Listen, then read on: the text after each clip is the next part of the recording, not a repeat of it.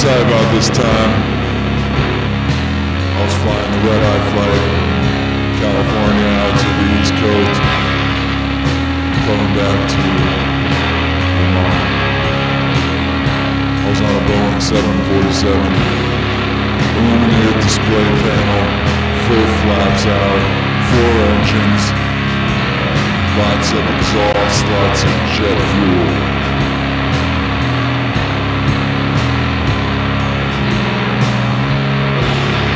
Took off with a rumble. Oh, I love that rumble. It's such a beautiful craft, that 747. Zooming over the night sky. Well, this particular flight had some issues. First off, they were out of peanuts. Secondly, halfway through the flight, something looked out on the wing and noticed that one of the engines was on fire. I couldn't believe my eyes. It was surreal.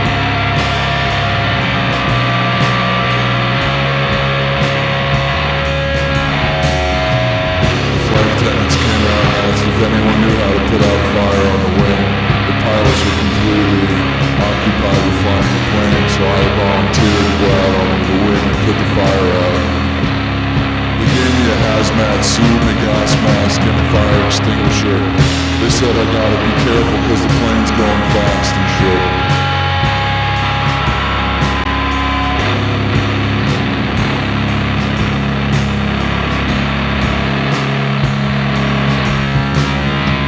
So I opened the window and climbed outside and boy, let me tell you, it's cold out there when you're up that high. I couldn't believe it It's freezing. They could have given me another layer or something. I really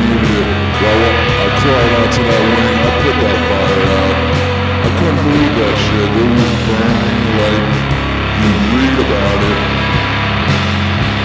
I got back inside and I couldn't believe my eyes because there was more panic ensuing.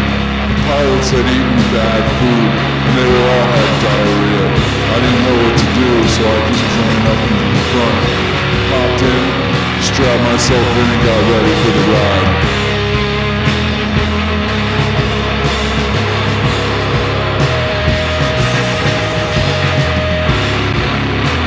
Tower, this is the Boeing 747. Uh, my name is Mike I've never flown this thing before, but I think I can do it. I do my best right now to get these people home safe because this is what I do. I looked at the illuminated display panel and I completely was boggled. I'd seen these things before, but I never really knew what to do with it. I decided to full speed ahead was the best idea. Crash landing, that's the only way to go, right? So we kept going, powering over Chicago, Indianapolis, Pittsburgh, Philadelphia, coming into Newark International Airport.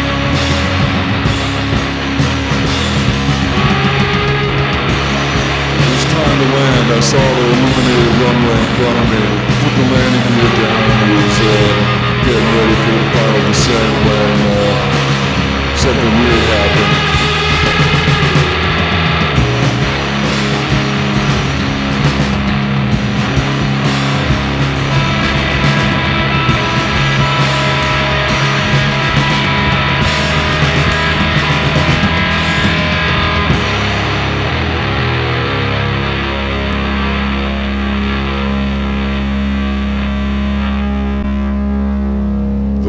building.